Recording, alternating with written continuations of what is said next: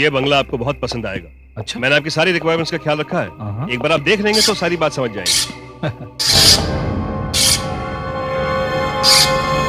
क्या हो अ, कुछ नहीं। चलिए। जी।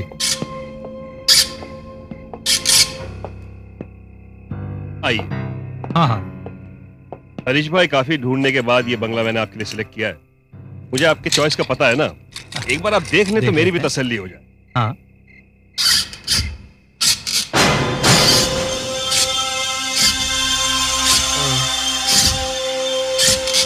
ये आपको पसंद आना ही चाहिए। चले? अ, हाँ चलिए।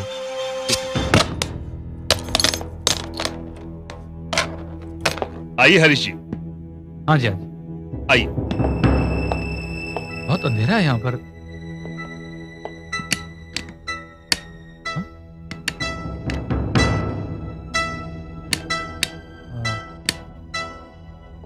हरीश भाई आप जरा यहाँ रुकिए। मैं जरा मेंस को चेक करके आता हूँ क्या वजह है। ठीक है। आता हूँ।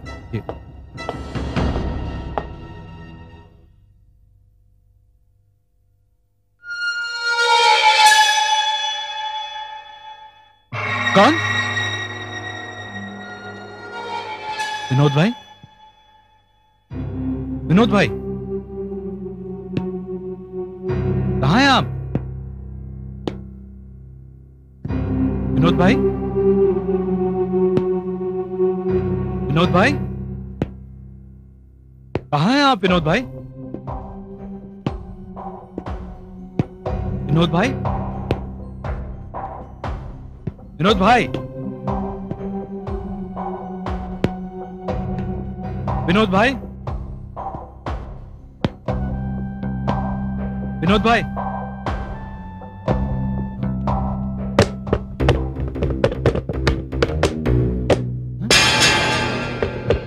कौन है। भाई।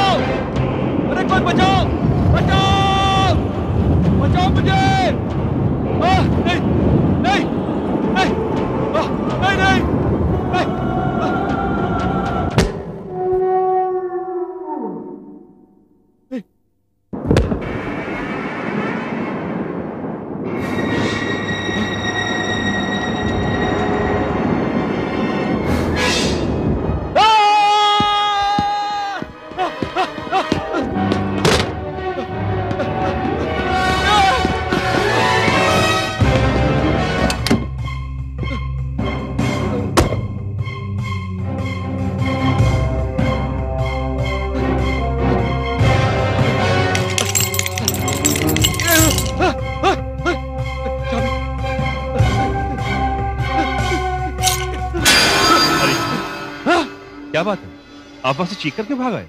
विनोद मैंने लोगों की बात पर विश्वास नहीं किया था। तभी ने कहा था कि यह मकान भूतिया है।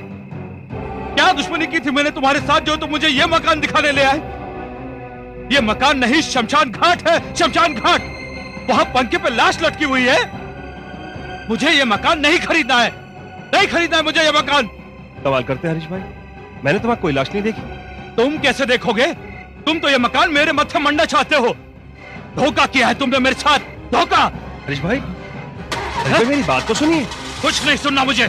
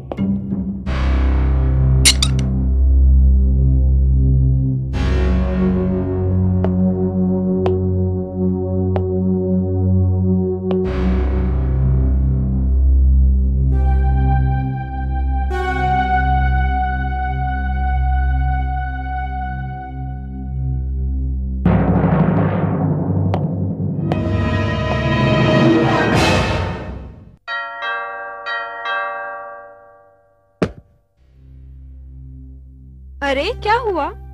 होना क्या था? मकान का सौदा आज भी नहीं हुआ। जो आया था वो भी उस मकान को भूतिया क्या कर भाग गया। रेशमा ये तीसरा कस्टमर था। लेकिन एक बात मेरी समझ में नहीं आती। जो भी इस मकान को देखने आया उसने यही कहा कि ऊपर वाले कमरे में पंखे से एक लाश लटकी हुई है। लेकिन लेकिन मुझे तो वहाँ कुछ भी नज़र नहीं आया। अरे छोड़िए ना उस मकान को। कैसे छोड़ दूँ? तुम तो जानती हो रेशमा, पूनम की एक माँ है। उसके दो छोटे छोटे भाई हैं और उन लोगों की माली हालत भी ठीक नहीं है। अगर ये मकान बिक जाता तो उनके लिए कुछ आसरा बन जाता। देखिए, पूनम की मौत तो हो चुकी है, लेकिन उसके मौत के बारे में अभी तक ये पता नहीं चला कि उसकी मौत एक हादसा थी या उसने खुदकुशी कर ली। लेकिन हैरानी की बात तो ये है कि उसकी मौत उस मकान में नहीं, किसी और जगह हुई थी। तो फिर लोग उस मकान को भूतिया क्यों समझ रहे हैं? इसका जवाब जानने के लिए हाँ? तुम्हें पूनम की ज़िंदगी में उतर कर देखना होगा। इसका जवाब जानने के लिए तुम्हें पूनम की ज़िंदगी में उतर कर देखना होगा।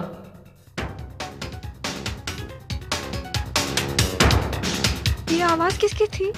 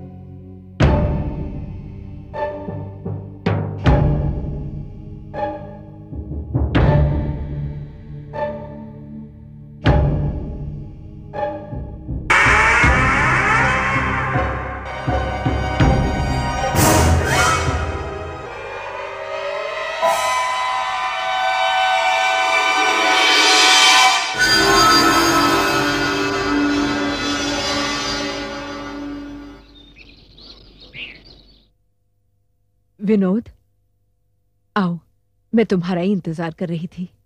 नमस्ते। बैठो। थैंक यू कुछ हुआ मकान का? नहीं निर्मला जी। मैं तो अपनी तरफ़ से पूरी कोशिश कर रहा हूँ लेकिन जो भी मकान देखने आता है डर कर भाग जाता है। हर एक यही कहता है कि उसे उस मकान में पंखे से लटकी हुई एक लाश नज़र आती है। बस बात वहीं खत्म हो जाती है। क्या तुम्हें वहाँ पर कोई लाश नज़र आई? मुझे तो कुछ नज़र नहीं आता वहाँ। दरअसल कुछ लोग नहीं चाहते कि हम उस मकान को बेचें। शायद ये उन्हीं लोगों की साजिश हो सकती है। लेकिन निर्मला जी वो लोग हैं कौन? और कौन? वही राम प्रकाश आचार्य जी के दोनों बेटे सुनील और अनिल।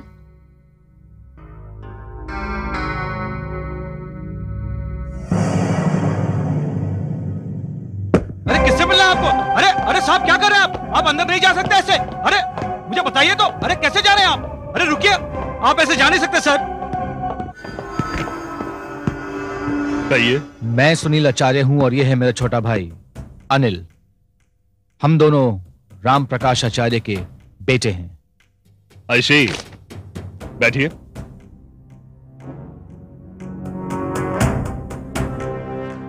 हम यहाँ बैठने नहीं आए हैं।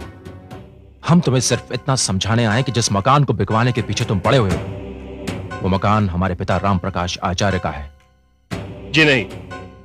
दरअसल वो मकान राम प्रकाश आचार्य ने पूनम के नाम से खरीदा था। और पूनम ने अपने मरने से एक महीना पहले उसे अपनी माँ यानी निर्मला देवी के नाम कर दिया था। आज उस मकान की मालकिन निर्मला देवी हैं। कानूनी तौर पर उस मकान को तो हम जल्द ही हासिल कर लेंगे क्योंकि आखिर पाप की जायदाद पर बेटों का तो होता है? मुझे लगता है आप कानूनी लड़ाई हार जाएँगे। हम हारे चाहे जीते लेकिन तुम इस सौदे से अपना हाथ खींच लो। इस मामले से अलग हो जाओ वरना वरना? वरना मिस्टर विनोद इसका अंजाम अच्छा नहीं होगा। हम्म आई अब मैं समझ गया ये मकान बिक क्यों नहीं रहा। आप दोनों इसमें रुकावट बने हुए हैं, हम्म? देखो हमसे उलझने से बेहतर होगा कि हमारी बात मान लो। और हमारे रास्ते से हट जाओ। ये तो नहीं हो सकता। वैसे आप जो कुछ भी कर रहे हैं वो तो अब मैं जानता हूँ। और आगे भी आपको जो कुछ करना है कर लीजिए। ठीक है विनोद। भाई समझाना हमारा काम था अगर आप ना समझे तो पछताएँगे। चले नील।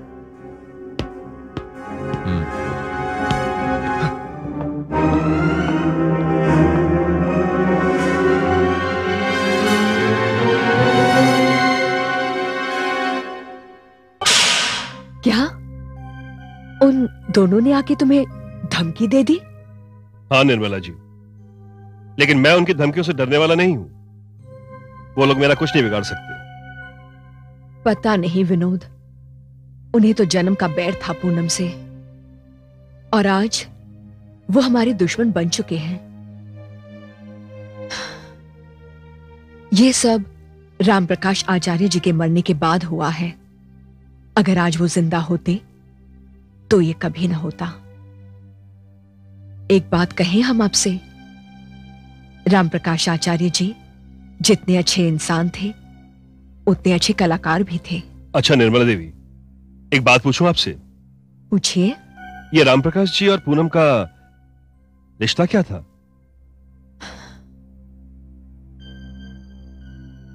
अब क्या नाम दूँ उस रिश्ते को? पूनम को वायलिन बजाने का बेहद शौक था। पर हमारे हालात इतने अच्छे नहीं थे कि हम उसका शौक पूरा कर सकते। पूनम को रामप्रकाश आचार्य जी से ही वायलिन सीखना था। उसी ने मुझसे कहा कि उनकी वो पहली मुलाकात कैसे हुई।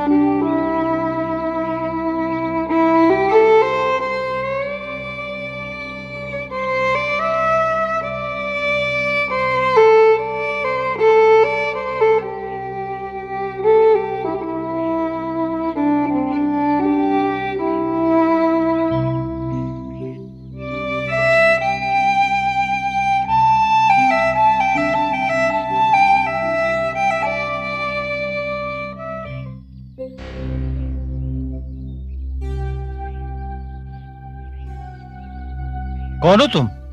हाँ? मैं तुमसे पूछ रहा हूँ कौन हो तुम? जी जी मैं मैं हूँ। मैं का कोई नाम तो होगा? जी पू, पूनम नाम है मेरा। अच्छा अच्छा। पूनम कैसे आना हुआ? वायलिन की आवाज़ सुनकर खिंची चली आई। माना कि बंगले का गेट खुला है लेकिन अंदर आने से पहले इजाज़त तो लेनी चाहिए थी। जी जानती हूँ कि गलती हो गई। माफ़ कर दीजिए प्लीज़ सचमुच वैसी हो जैसी दिखाई दे रही हो। आने की वजह? सच पूछिए तो पिछले कई दिनों से मैं छुप छुप कर आपको वायलिन बजाते हुए देख रही थी। मैं आपसे वायलिन बजाना सीखना चाहती हूँ पर आप तो बहुत बड़े कलाकार है ना? तुम वायलिन बजाती हो? जी बस यूँ ही। ठीक है आओ। हाँ? आओ।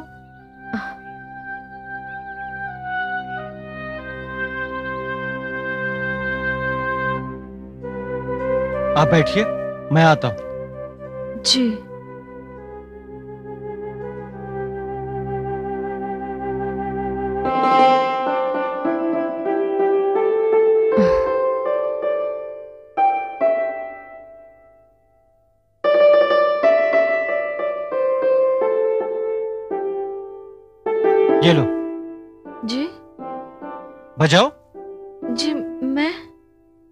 अगर मुझे तुम में कोई बात नज़र आएगी तो मैं ज़रूर सिखाऊँगा।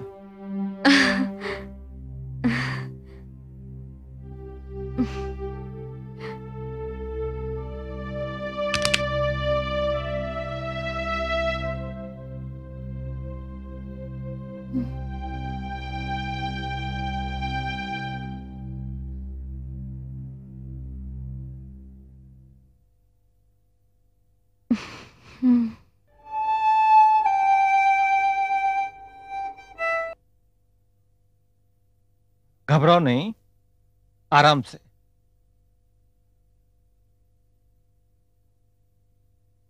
बचाओ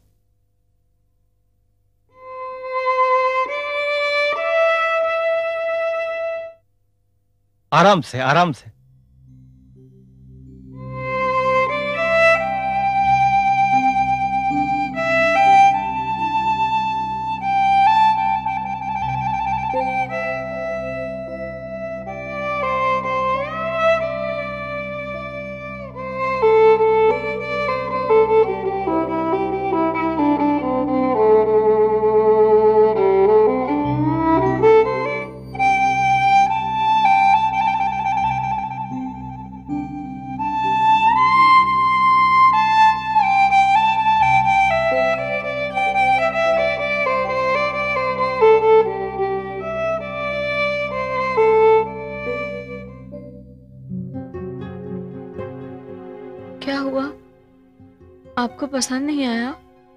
मैं ये सोच रहा था कि तुम वायलिन यहाँ सीखने आई हो या सिखाने।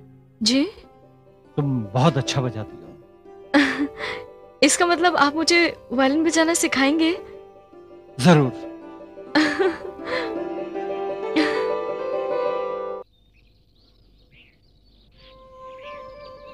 और राम प्रकाश आचार्य जी ने पूनम को अपना शिष्य मानते हुए उसे वायलिन बजाना सिखाना शुरू कर दिया।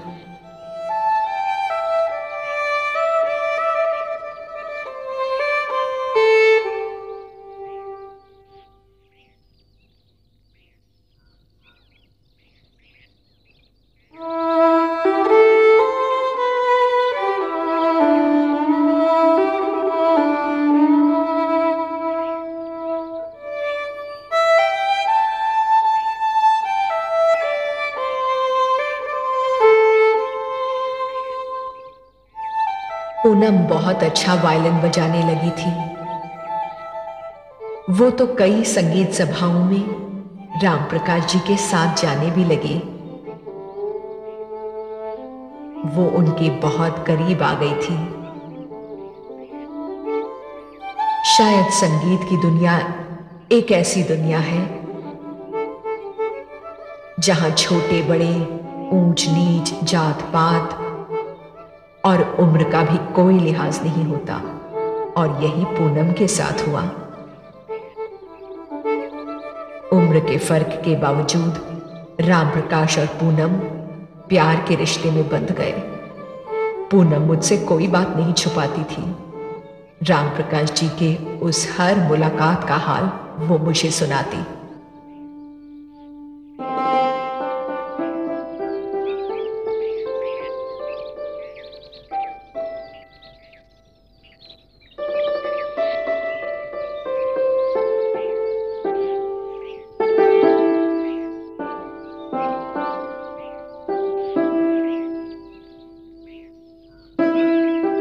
आज आप बहुत खामोश लग रहे हैं। क्या बात है? पूनम तुम्हें मालूम है कि तुम्हारी और मेरी उम्र में कितना फ़र्क है? पूछ सकती हूँ कि संगीत की मात्राएँ गिनने वाला आज उम्र की गिनती क्यों कर रहा है? बहुत ज़रूरी है पूनम। तू आंधी की तरह मेरी ज़िंदगी में आई। तुम्हारे अंदर के कलाकार ने मुझे अपनी तरफ़ इस तरह खींचा कि मैं अपने जज्बात को रोक नहीं पाया। और जज्बात के लोह में बहता ही चला गया। आप तो खामखा अपने आप को ही इल्ज़ाम दे रहे हैं।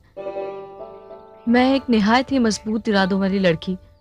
जब मैं ही अपने जज्बात पर काबू ना पा सकी तो इसमें आपकी क्या गलती?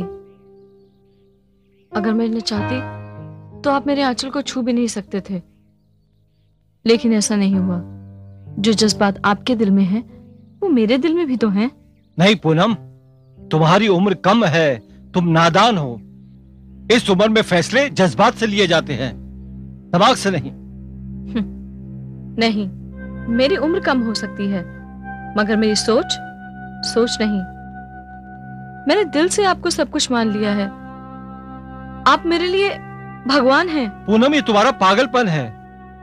तुम वो एक फूल हो जो ज़िंदगी की डाल पर अभी अभी खिला है। और ये फूल अपने भगवान पर अर्पित हो गया है। तो इसमें बुरा क्या है? मैं एक बात ईमानदारी के साथ कह सकती हूँ कि मैंने ज़िंदगी में शादी न करने का फैसला कर लिया था। पर अब वो फैसला मैंने बदल दिया है। लेकिन अगर आप मुझे ठुकराना चाहते हैं तो बात कुछ और है। नहीं पूनम, ऐसी बात नहीं है। अभी तुम्हारे सामने तुम्हारी पूरी ज़िंदगी पड़ी है। तुम्हारा घर है, तुम्हारा समाज है। तुमने गलत फैसला किया है। अगर आप इसे नैतिकता के नज़रिए से देखते हैं तो हो सकता है कि यह फैसला गलत है। वैसे भी इस फैसले से मेरी माँ भी खुश नहीं है। उन्होंने मेरे सामने एक शर्त रखी है। या तो मैं आपका साथ छोड़ दूँ या अपना घर। क्या? हाँ मैंने अपना घर छोड़ दिया है। हम्म, लेकिन आप चिंता मत कीजिए। मैं आपके ऊपर बोझ नहीं बनूँगी। बोझ? नहीं। पूनम तुम कभी भी बोझ नहीं थी। तुम एक ऐसी कलाकार हो, जिसके लिए शानदार भविष्य इंतज़ार कर रहा है। सिर्फ़ विदेशी में नहीं, विदेश में भी। खैर, अब तो मुझे तुम्हारे लिए एक घर का इंतज़ाम करना पड़ेगा।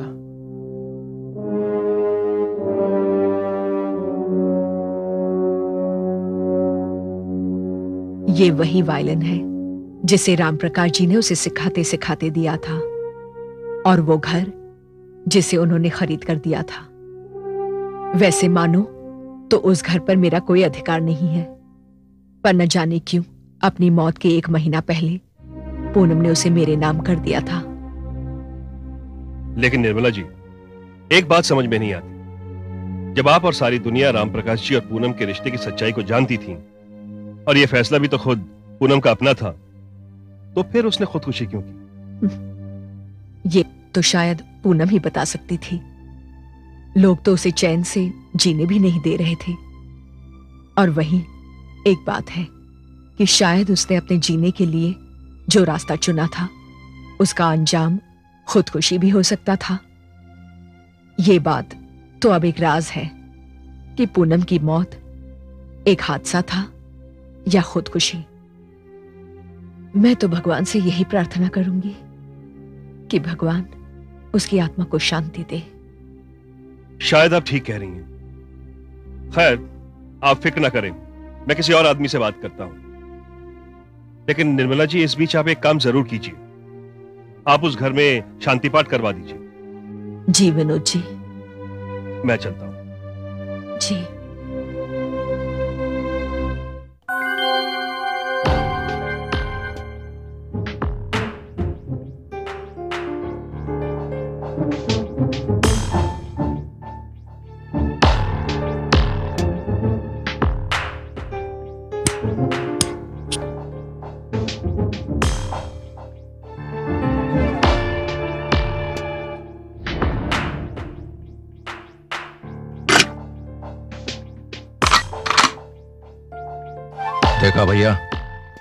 किस तरह से बात कर रहा था वो इडियट एजेंट हाँ लगता है कुछ ज़्यादा ही चर्बी चढ़ गई है मिस्टर विनोद को। बात तो वैसे करता जैसे मकान हमारे डैड का नहीं, उसका है। बहुत हो गया भैया। अब हमें कुछ ना कुछ करना होगा। अब तो वो उस घर के अंदर शांति पाठ भी करवा रहा है। छोटे वो चाहे जो कर ले, उस मकान को हासिल नहीं कर पाएगा। और अगर उसने अपनी हद पार की तो उसके घर में शांति पाठ होगा। उसकी आत्मा की शांति के लिए।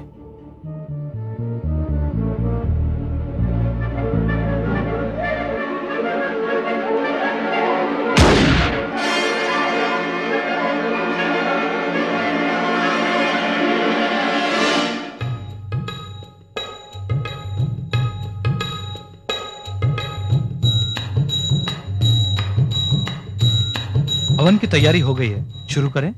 निर्मला जी जी कीजिए। जी।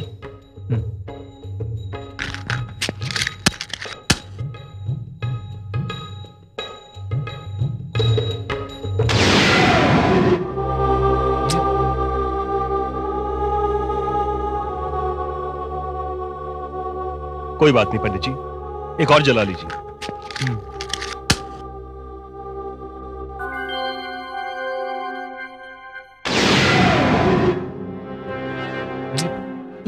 कैसा अपशगुन हो रहा है? आ,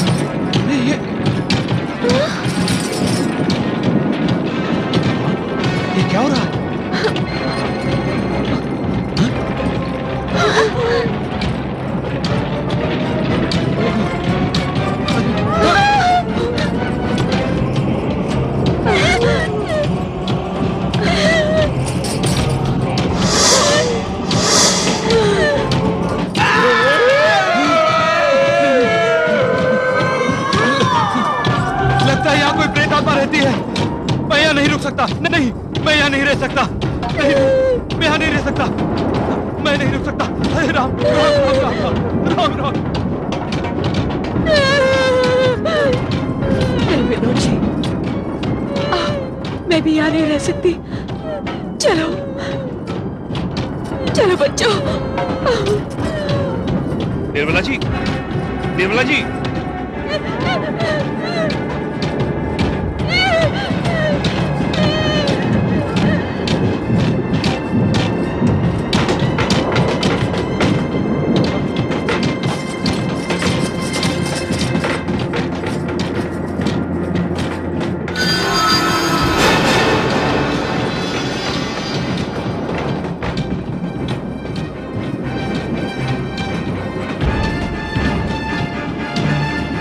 कौन हो तुम कौन हो तुम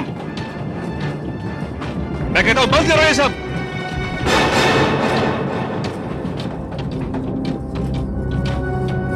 लोग कहते हैं इस घर में पूनम की आत्मा रहती है। अगर ये बात सच है तो मेरे सामने आओ। क्या बैर है तुम्हारा घर वालों से? क्या बिगाड़ा उन्होंने तुम्हारा?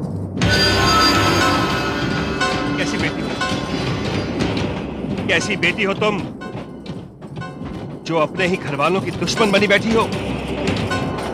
सुनो, ये मकान अगर बिका नहीं ना तो तुम्हारी माँ और तुम्हारे दोनों भाई भूखे मर जाएँगे, चैन से रोटी नहीं खा पाएँगे। और अगर कहीं तुम तुम ये समझ रही हो कि सौदे के पीछे मेरा मेरा कोई अपना स्वार्थ है तो तो गलत है। मैं तो ये सौदा सिर्फ़ सिर्फ़ तुम्हारी माँ और तुम्हारे भाइयों के भलाई के लिए कर रहा हूँ। अपनी कमीशन के लिए नहीं। और हाँ एक बताओ मैं तुम्हारे तूफ़ान से डरने वाला नहीं हूँ। अगर किसी को मारना है तो मुझे मारो।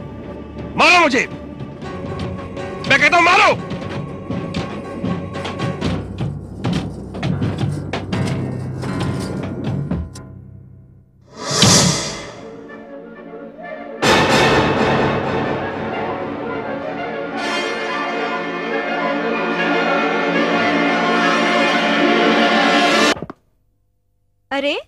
आप तो शांति पाठ में गए थे। इतनी जल्दी कैसे लौट आए? शांति पाठ भंग हो गया रेशमा। भंग हो गया? हाँ। वो कैसे? जैसे ही पंडित ने पूजा शुरू की वहाँ एक ऐसा भयानक तूफ़ान आया कि घर की बुनियाद हिलकर देखते ही देखते हर चीज़ तहस नहस हो गई। नहीं रेशमा नहीं। ऐसा भयानक माहौल मैंने पहले कभी नहीं देखा था। फिर क्या? पंडित तो डरकर भाग गया। और निर्मला जी भी अपने बच्चों को लेकर वहाँ से निकल गई। लेकिन मेरी समझ में यह नहीं आया कि वो वो कोई प्रेत आत्मा का खेल था या फिर कुछ और। मैंने तो ललकारा भी कि अगर वो पूनम की आत्मा है तो मेरे सामने आए। और फिर वहाँ मैंने वहाँ मैंने पर्दे के पीछे एक औरत का साया देखा भी था। लेकिन फिर अचानक वो साया गायब हो गया। और और फिर से सारा माहौल शांत हो गया। देखिए जी, ये सब सुनने के बाद मेरा दिल तो बहुत घबराने लगा है। अब आप इस मामले से अपने आप को अलग कर लीजिए। जब पंडित जी और निर्मला जी वहाँ से भाग गई तो आपको वहाँ रुकने की क्या ज़रूरत थी? अगर आपको कुछ हो जाता तो मेरा कौन है आपके सिवा? लेकिन रेशमा तुम लेकिन वेकिन कुछ नहीं। आपको मेरी कसम। अब आप उस घर के बारे में नहीं सोचेंगे। रेशमा तुम तो जानती हो ये सब मैं पूनम और उसके दोनों छोटे भाइयों के लिए कर रहा हूँ। देखिए हमदर्दी जताना कोई बुरी बात नहीं है लेकिन खुद की जान पर बनाए ऐसी हमदर्दी का क्या फ़ायदा? नहीं नहीं आप अभी जाके निर्मला जी से कह दीजिए कि वो ये काम किसी और से करवा दे। ठीक है। मैं एक बार निर्मला जी से जाकर ज़रूर मिलूँगा। नहीं विनोद। अब तो मैं भी तुमसे यही कहना चाहूँगी कि भूल जाओ उस मकान के बारे में। उस मकान से। उस मकान से हमारा कोई लेना देना नहीं है। आज आज जो मेरी आँखों ने देखा, वो क्या था? ये तो बस भगवान ही जानता है। लोग तो ठीक ही कहते थे। जिनकी अकाल मृत्यु होती है, उनकी आत्मा भटकती रहती है। हमने तो काफ़ी प्रयास किए, शांति पाठ करने के। पर वहाँ शांति पाठ नहीं हो सका। वहाँ का भयानक मंजर देखकर तो मैं डर गई थी। मैं भूल चुकी थी। विनोद जी, आपने भी तो अपनी तरफ़ से कोशिश की थी। भूल जाइए उस मकान को। भूल जाइए। मैं नहीं चाहूँगी कि मेरी हमदर्दी जताने में आपकी ज़िंदगी पर कोई आँच आ जाए। शायद अब ठीक कहने निर्मला जी। लेकिन एक बात मैं आपसे कहना चाहूँगा। आप कभी भी अपने आप को अकेला मत समझिए। मैं हर वक्त आपके साथ हूँ। अच्छा मैं चलता हूँ। नमस्ते।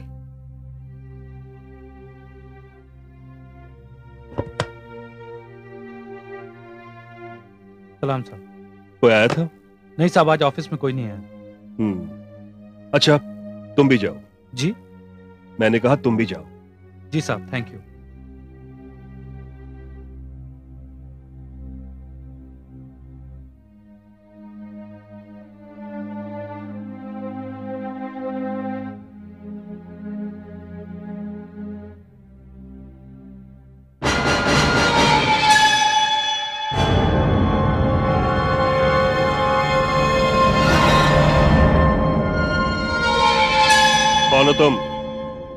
मैंने पूछा कौन हो तुम? और अंदर कैसे आ गई? मैं अपनी मर्ज़ी से कहीं भी आ सकती हूँ और कहीं भी जा सकती हूँ। ये मेरे सवाल का जवाब नहीं है। मैंने तुमसे पूछा कौन हो तुम और तुम अंदर कैसे आई? लगता है तुम्हारा गुस्सा अब तक शांत नहीं हुआ। देखो देखो इससे पहले कि मैं कुछ कर बैठूं तो मुझे ये बताओ कि तुम हो कौन?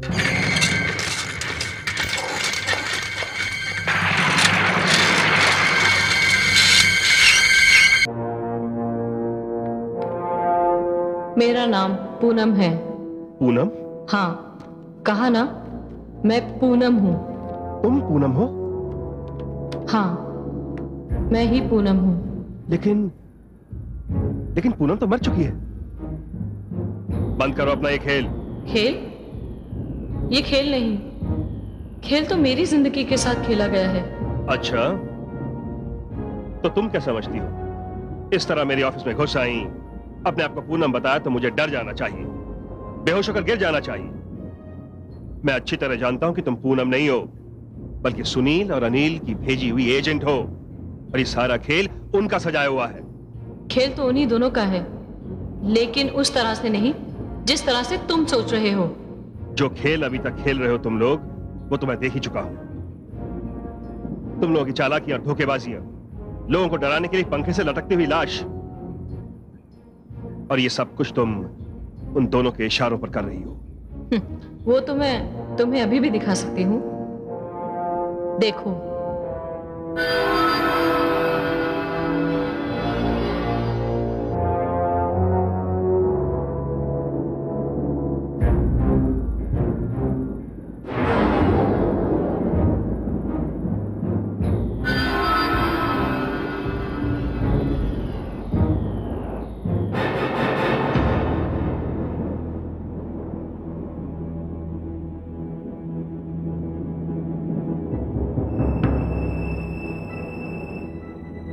सुनो।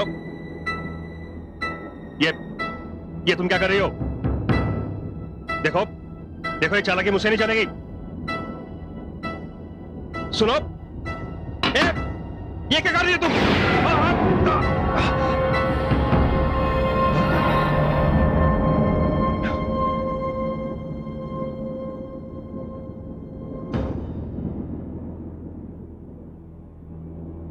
विनोद? यानी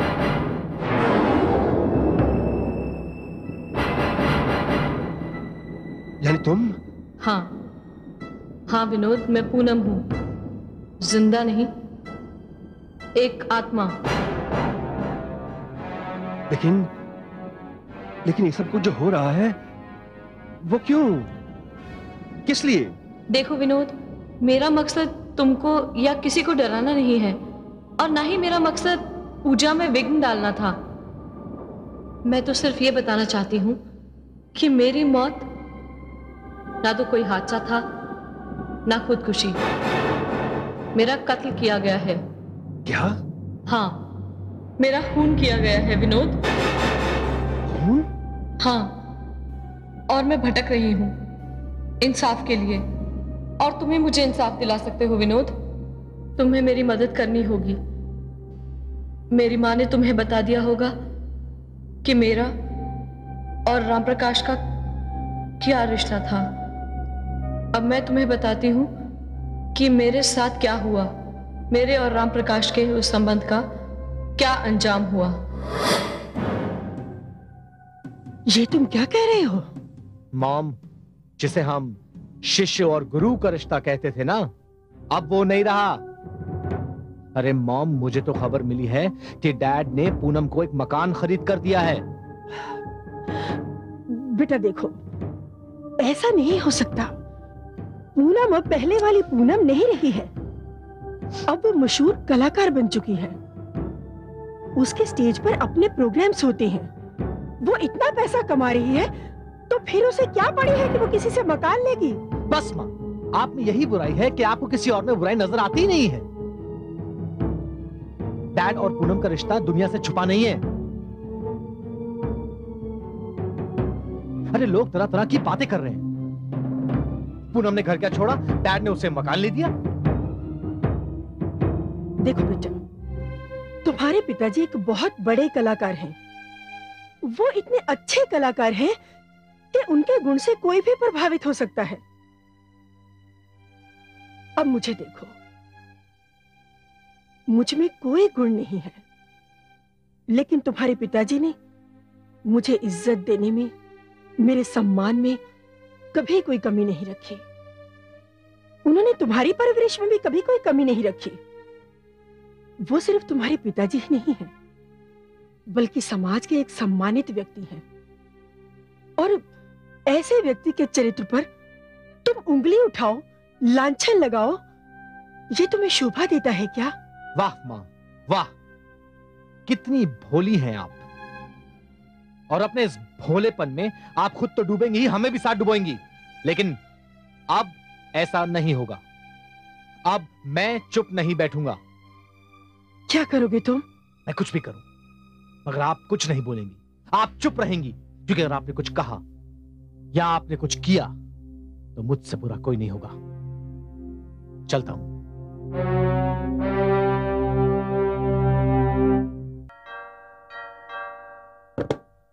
नमस्ते मैम साहब।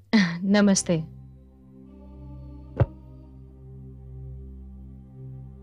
अरे सब लोग कहाँ हैं? साहब तो अपने संगीत रूम में हैं और मैम साहब अपने रूम में हैं। अगर आप कहें तो बुला दूँ? नहीं नहीं तुम आशा जी से जाकर बता दो कि मैं आई हूँ। मैं आचार्य जी को मिलकर आती हूँ। बहुत अच्छा। ठहरो। तुम जाओ यहाँ से। जी।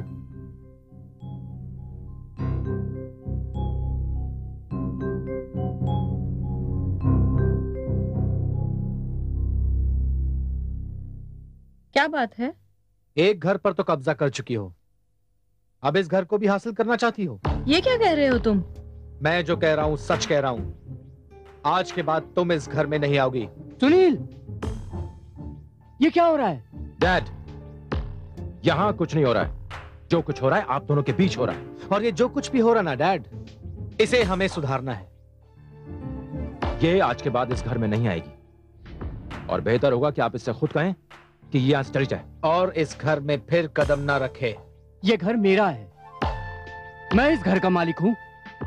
मैं फैसला करूँगा कि इस घर में कदम कौन रखेगा और कौन नहीं रखेगा। नहीं डैड। अब ये फैसला आप नहीं हम करेंगे। अरे तू कैसी बेशरम औरत है। तेरी वजह से इस घर में महाभारत छिड़ गया है और तू अब तक यहाँ खड़ी है। अरे जा यहाँ से। बिमला तू इस घर की नौकरानी है। तेरा जो काम है सिर्फ़ वही कर। चल जा यहाँ से।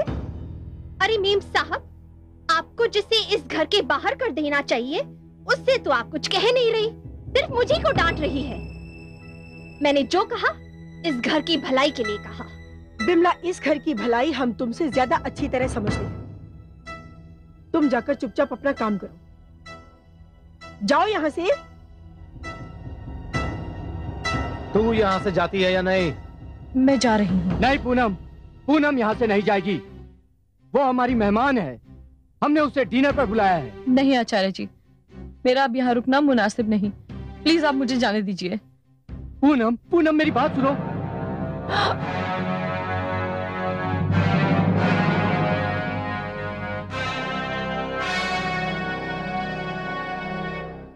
नालायक छोड़ दे इनको। माँ मैंने कहा था ना आपसे बिल्कुल चुप रहेंगी कुछ नहीं बोलेंगी। नहीं मैं चुप नहीं रहूँगी। तू छोड़ इनको।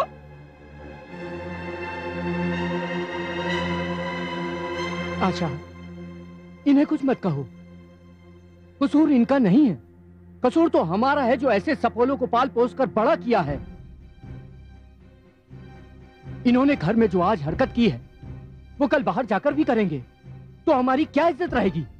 डैड अपनी इज़्ज़त आपने खुद गवाई है। ये तू कह रहा है निकम्मे? जो खुद कोई काम धाम नहीं करता सिर्फ़ आवारागर्दी करता है रंगरलिया मनाता है। इतना जवान जहान हो गया और अभी तक बाप के टुकड़ों पर पल रहा है। शर्म आनी चाहिए तुम्हें शर्म आनी चाहिए। शर्म तो इन्हें आनी चाहिए माँ।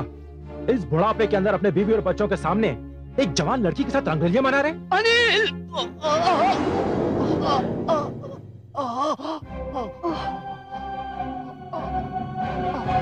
अरे आपको क्या हो गया अरे तुम लोग खड़े देख क्या रहे हो? जाओ, जल्दी से डॉक्टर को बुलाओ। फ़ोन करो कोई डॉक्टर को। आपको कुछ नहीं होगा। आपको कुछ नहीं होगा। आपको कुछ नहीं होगा, धीरज रखिए। आपको कुछ नहीं होगा। आपको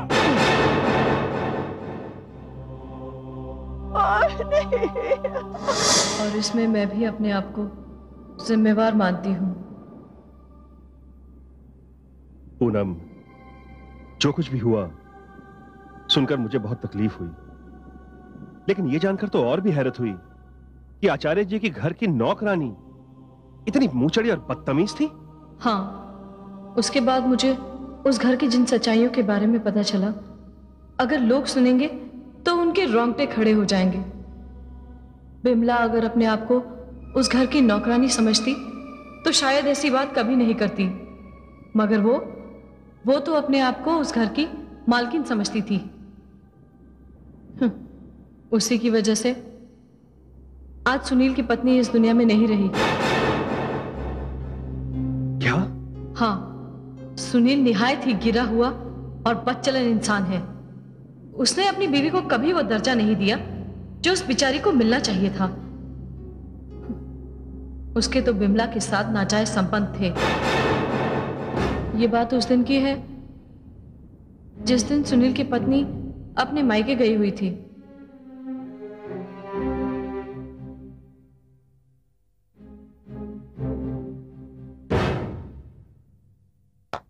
साहब। हम्म। दूध। रख दो। अरे इतनी जल्दी क्या है जाने की? छोड़िए ना। ये आप क्या कर रहे हैं? कोई देख लेगा। अरे तू किससे डरने लगी? ज्योति तो गई है अपने मायके। हम्म? लेकिन माँ जी माँ जी सो रही है। मैं कपड़े बदल के अभी आई। सो मत जाना। छोड़ो ना। क्या कर रहे हैं आप? कोई देख लेगा। जाने से पहले टैक्स तो दे दी जाओ।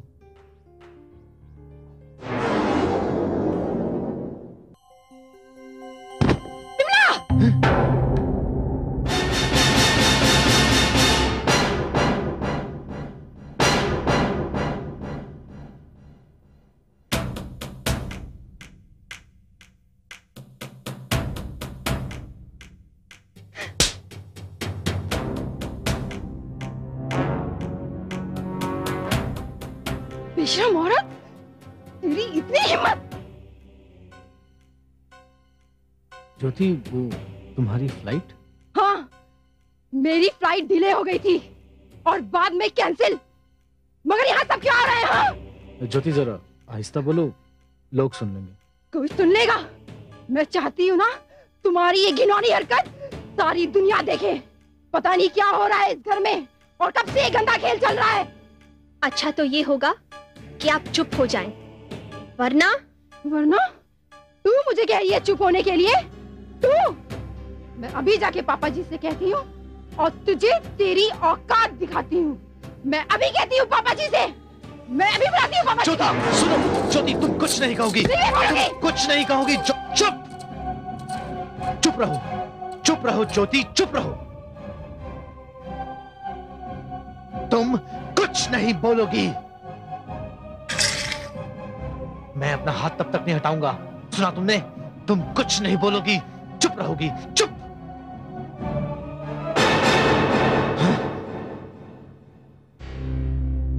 अरे साहब ये तो बेहोश हो गई।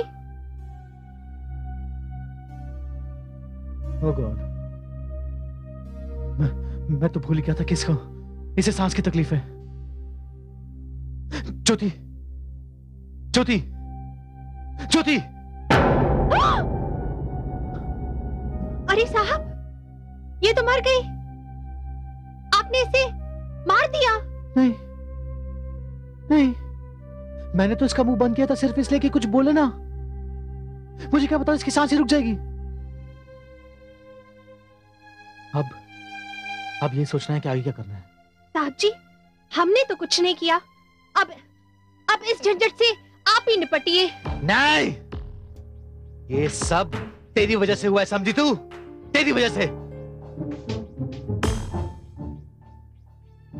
अब ये सोचना है कि आगे क्या करें?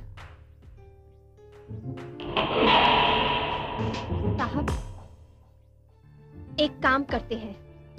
घर पे सभी लोग सो रहे हैं। इसे यहाँ से ले जाके किसी सुनसान जगह पर ले जाके फेंक आते हैं। नहीं। इसके लिए तो कुछ और ही सोचना पड़ेगा। सुनील और बिमला ने ज्योति की लाश को पंखे से लटका दिया। और उसकी मौत खुदकुशी बन गई। और इत्तेफाक से डॉक्टर ने भी यही रिपोर्ट दी कि ज्योति की मौत सांस के रुक जाने की वजह से हुई है। और सुनील सुनील साफ़ साफ़ बच गया। इसका मतलब तो ये हुआ कि पंखे से जो लटकती हुई लाश दिखाई पड़ती है वो हाँ वो ज्योति की लाश है। हम्म मगर पूनम तुम मुझे ये बताओ कि तुम्हारे साथ क्या हुआ?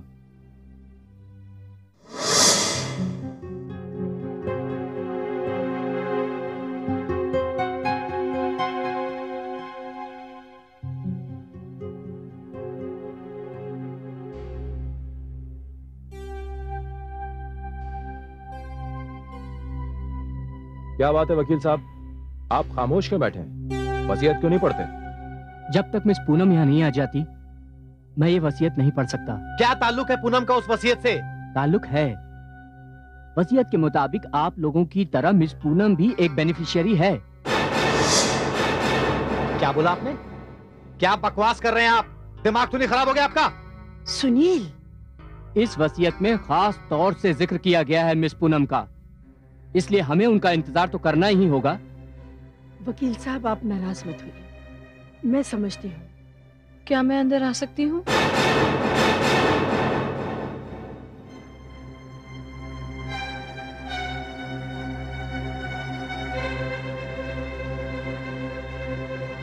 आओ पूनम।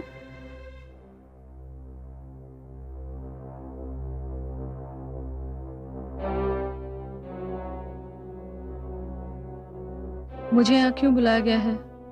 देखिए पूनम जी राम प्रकाश जी ने मुझसे वसीयत लिखवाई थी और उस वसीयत के मुताबिक इस जायदाद में आपका भी हिस्सा है। लेकिन वकील साहब मुझे इसमें से कुछ नहीं चाहिए। अरे बंद करो अपना नाटक। ये नाटक नहीं है मगर तुम तुम इस बात को नहीं समझोगे। देखिए बहस करके कोई फ़ायदा नहीं है। बेहतर होगा आप ये वसीयत गौर से सुने और मुझे आगे की कार्रवाई करने दें। इस वसीयत में उन्होंने अपनी जायदाद के चार हिस्से किए हैं। एक हिस्सा उन्होंने अपनी धर्मपत्नी आशा देवी के नाम किया है। दो हिस्से उन्होंने अपने दोनों बेटे सुनील और अनिल के नाम किए हैं। और चौथा हिस्सा मिस पूनम के नाम लिखा है।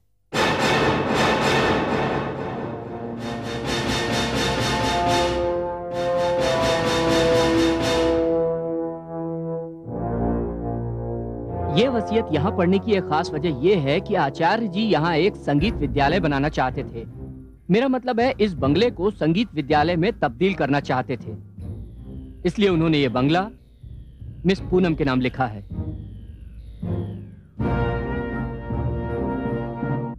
इस वसीयत के ज़रिए आचार्य जी ने मेरे सामने एक बहुत बड़ी समस्या खड़ी कर दी थी, क्योंकि उनकी अंतिम इच्छा थी कि वो उस बंगले को संगीत विद्यालय में तब्दील करना चाहते थे और उनकी अंतिम इच्छा का सम्मान करते हुए मैंने उस बंगले की ज़िम्मेदारी अपने हाथ में ले ली।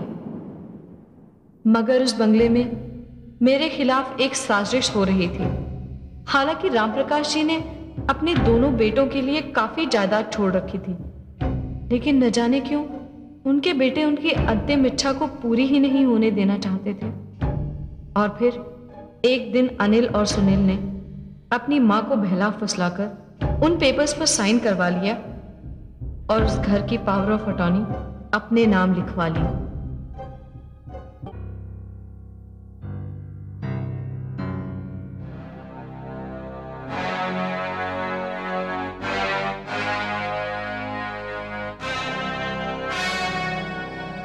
आप लोग?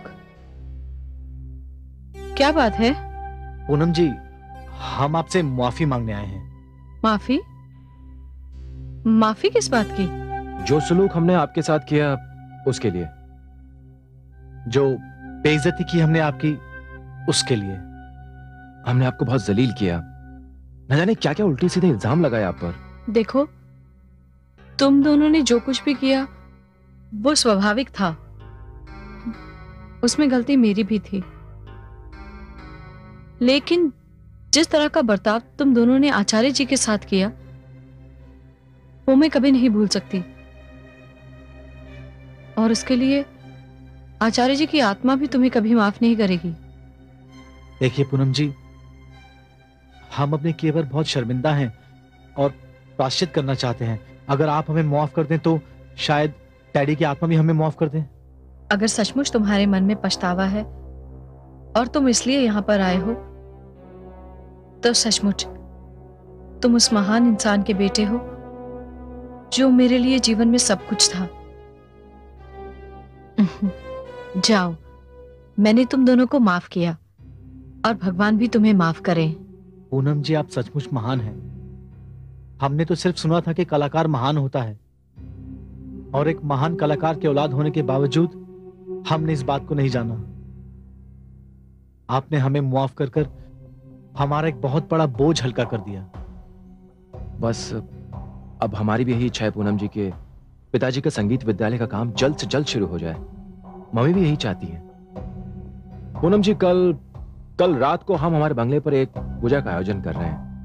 मम्मी की इच्छा है कि आप ज़रूर आए। इसलिए हम आपसे विनती करने आए हैं। मैं आऊँगी। मैं ज़रूर आऊँगी। कल रात को। भूलिएगा नहीं? नहीं मैं नहीं भूलूँगी। मैं ज़रूर आऊँगी। नमस्ते। नमस्ते।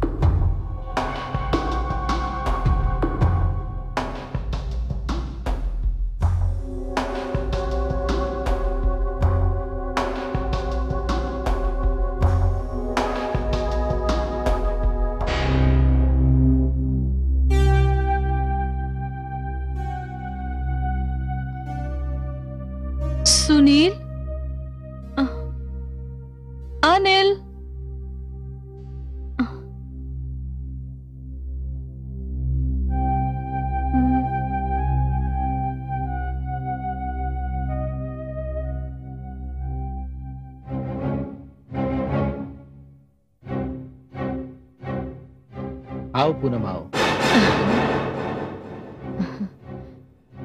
अनिल ये बंगले में इतना अंधेरा क्यों है? वो अभी अभी लाइट चली गई थी इसलिए हमने मोमबत्तियाँ जला दी ओहो। आप लोगों ने कहा था कि घर में पूजा है पर यहाँ ना तो पंडित दिखाई दे रहे हैं और ना ही पूजा का सामान। वो बिजली चली गई थी ना? इसलिए हमने पंडित को भी रोक दिया। आ, अच्छा। आ, आशा जी कहाँ हैं? उन्हें जहाँ पहुँचना था हमने उन्हें पहुँचा दिया। क्या मतलब? वो ऐसा है ना कि वो हमारी माँ है ना इसलिए हमने उन्हें वृद्धाश्रम भेज दिया। क्या? और देखा जाए तो तुम भी हमारी माँ ही हो। इसलिए अब तुम्हें कहाँ पहुंचाना है यह फैसला भी हम ही करेंगे। तुम लोग चाहते क्या हो?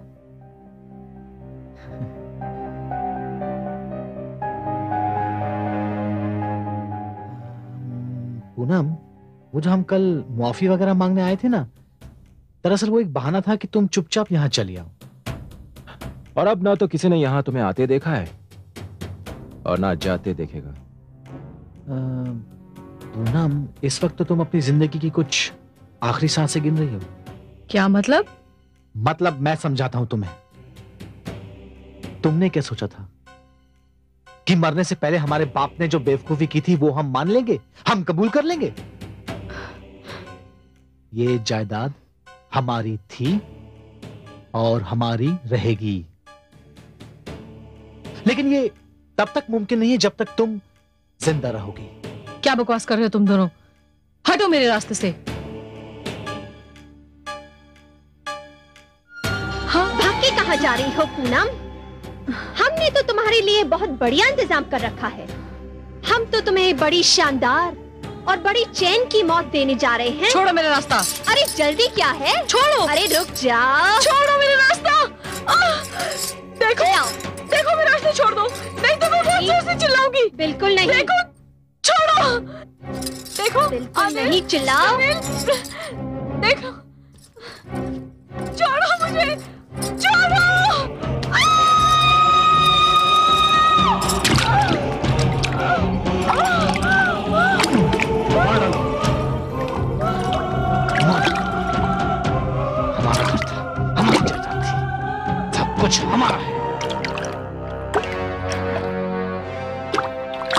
भी नहीं है। तू कुछ भी नहीं है।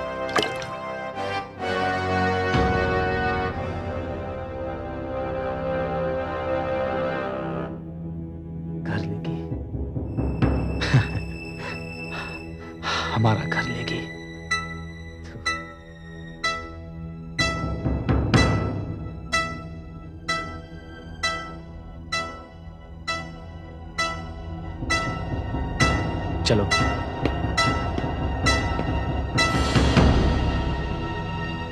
उसके बाद कुछ लोगों को मेरी लाश झील में मिली। कुछ लोगों ने उसे हादसा समझा और कुछ ने खुदकुशी। ये लोग तो बहुत खतरनाक है पूनम। इन्होंने पहले ज्योति को मारा। राम प्रकाश आचार्य के मौत के जिम्मेदार भी वही हैं। और उसके बाद उन्होंने तुम्हारी हत्या की। और आज तक ये आज़ाद घूम रहे हैं। हाँ लेकिन अब वो आज़ाद नहीं घूम पाएँगे। उन्हें भी बिल्कुल वैसी सजा मिलेगी जैसी मौत उन लोगों ने मुझे दी। विनोद मैं तुम्हारे पास इसलिए आई हूँ ताकि तुम मेरी मदद कर सको। पूनम मैं तुम्हारी हर तरह से मदद करने को तैयार हूँ। अगर तुम चाहो तो मैं आज ही उनके खिलाफ पुलिस में रिपोर्ट लिखवा देता हूँ। नहीं नहीं विनोद उन्हें सजा सिर्फ़ मैं दूँगी। और तुम्हें क्या करना है वो मैं तुम्हें बता दूँगी। ठीक है। जैसा तुम चाहोगी वैसा ही होगा।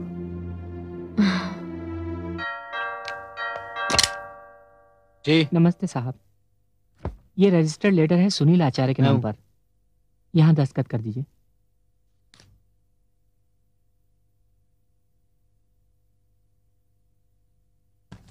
थैंक यू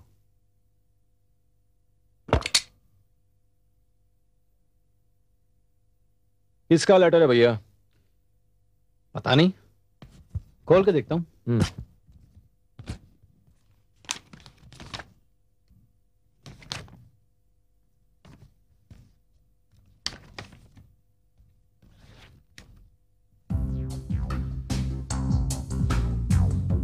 लेटर तो पूनम का है। पूनम का? पर छोटे इस पर तारीख 25 छह 2000 लिखी है। इसका मतलब है वो पूनम के मरने के एक महीने पहले की तारीख है। हाँ। अच्छा इसमें लिखा क्या पढ़ो तो हाँ। अम्म, ये खत मैं सुनील और अनिल आचार्य के लिए लिख रही हूँ।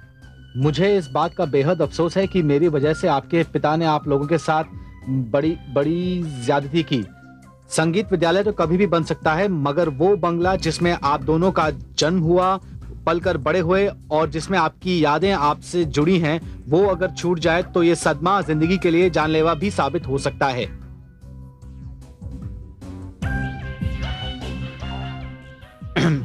मैंने इस बात को महसूस किया और मैं बार बार शर्मिंदा भी हुई। ये बंगला जो मेरे नाम पर था, वो, ये एग्रीमेंट के ज़रिए आप दोनों को लौटा रही हूँ? छोड़ देख एग्रीमेंट है? एग्रीमेंट के ज़रिए आप दोनों को लौटा रही हूँ। उम्मीद है आप इसे कबूल करेंगे और मुझे मेरी गलतियों के लिए माफ़ कर देंगे। दिखा?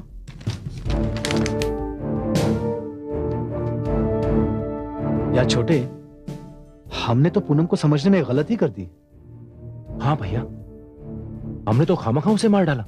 और ये देख एग्रीमेंट उसने बंगला हमारे नाम पे कर दिया और अ- अब हम बंगले के मालिक हैं? हाँ भैया बंगले के मालिक तो हम हैं लेकिन सिर्फ़ नाम के लिए। क्या मतलब? मतलब ये कि बंगला क्या चाटना है? देखो एक काम करते हैं। इस बंगले को बेच करके जो पैसा आएगा ना उसे एक बिज़नेस स्टार्ट करते हैं। छोटे बात तो तू समझदारी की कर रहा है। पर इसका ग्राहक भी तो मिलना चाहिए। हाँ हाँ वो भी। देखता हूँ। हेलो हेलो क्या मैं सुनील आचार्य से बात कर सकता हूँ? बोल रहा हूँ। कहिए कौन बोल रहे हैं आप? जी मैं विनोद। स्टेट एजेंट फ़ोन क्यों किया? जी दरअसल आपके बंगले को खरीदने के लिए कुछ पार्टीज़ हैं। पहले तो मेरी हिम्मत नहीं हुई आपसे इस सिलसिले में बात करने की लेकिन फिर मैंने सोचा बिज़नेस ही तो है। इसलिए अगर आप कहें इफ़ यू इंटरेस्टेड तो मैं पार्टी को लेकर आपके बंगले पर सात बजे आ जाऊँगा शाम को। होल्ड करो। कौन है? विनोद वो एस्टेट एजेंट क्या कर रहे वो कह रहा है कि बंगले के लिए कोई खरीदार मिल गया है। हाँ कर दूँ? हाँ हाँ नेकी और पूछ पूछ मगर विनोद के साथ? भैया इस वक्त ये सब भूल जाओ। सिर्फ़ अपना काम निकालो। बोल दो। हाँ। तो ठीक कह रहा है। विनोद वो बंगले को बेचने में हम इंटरेस्टेड तो हैं और अब हम उस बंगले के कानूनी मालिक बन गए हैं तो कोई अड़चन भी नहीं होगी उसे बेचने के लिए? ठीक है। तो सुनील साहब फिर तो आपको इस बंगले की अच्छी कीमत भी मिलेगी। विनोद तुम्हारे अंदाज से कितनी कीमत मिल सकती है? यही समझ लीजिए कम से कम तीन करोड़ रुपए। तीन करोड़? जी। और अगर आपको कम लगती है तो बढ़ा भी सकते हैं। नहीं नहीं बस आप जो मुनासिब समझे वो कीजिए। हम्म, बस आप पार्टी ले आइए। हाँ लेकिन टाइम को याद रखिएगा। शाम को ठीक सात बजे। हाँ हाँ समझ गए। सात बजे। ओके।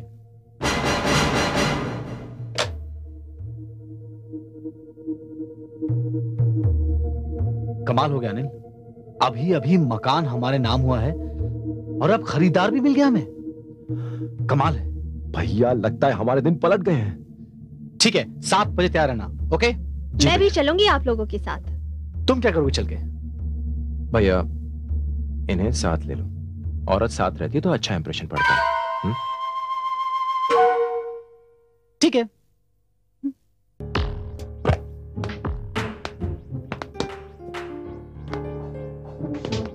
कोई नज़र नहीं आ रहा अनिल कोई है ही नहीं।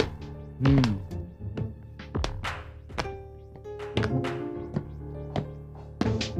Welcome welcome mister Sunil. मैं अभी का इंतज़ार कर रहा था। भाई कमाल है। आप वाकई वक्त के बहुत पावन निकले। ये आपके भाई अनिल हैं। इनसे तो मैं मिल चुका हूँ। Nice to see you same you लेकिन अ, ये पिमला है। अच्छा अच्छा आपकी धर्म पत्नी। मुझे लगता है वो लोग आ गए हैं। आप लोग बैठिए। I just come in a second excuse me भैया कम हो या ज़्यादा इस मकान का सौदा कर ही लीजिए। वैसे भी बड़ा मनूस मकान है हमारे लिए। हम्म, लेकिन पहले देख तो ले पार्टी क्या बोलती है?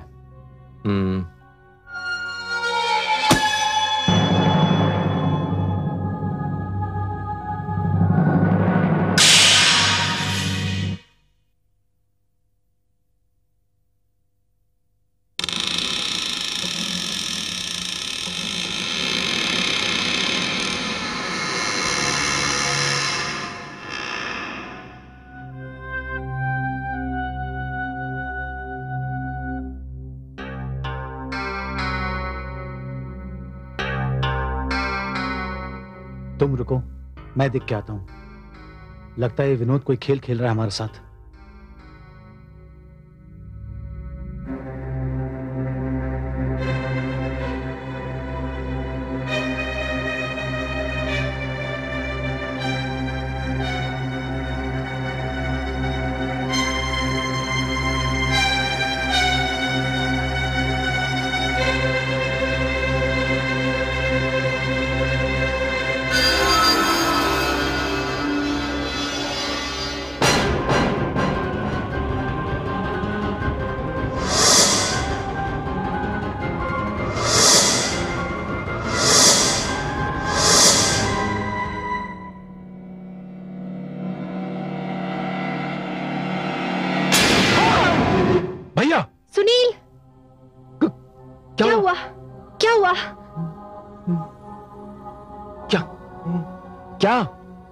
के पीछे? दरवाजे के पीछे क्या है? क्या है? क्या है? ज्योति थी। ज्योति? हाँ। क्या क्या बात करो भैया? हाँ। इट्स इम्पॉसिबल इम्पॉसिबल एक मिनट। आप यहाँ ठहरो मैं मैं देखता हूँ। अनिल बी केयरफुल हाँ। नहीं।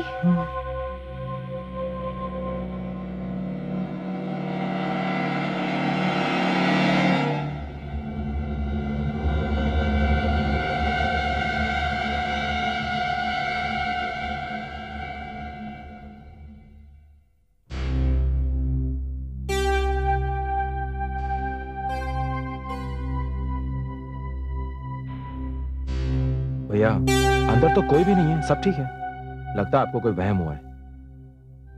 जो कुछ भी हो अब हम यहाँ एक पल नहीं रुकेंगे। चलो यहाँ से चलो। ठीक है भैया।